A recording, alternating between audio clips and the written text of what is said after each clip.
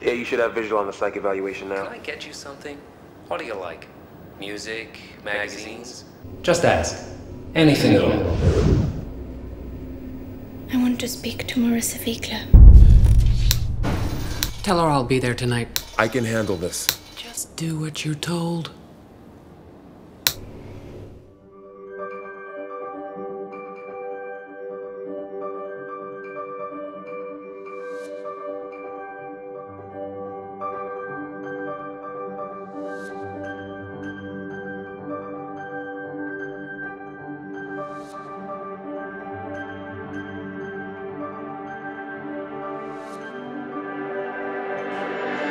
thank you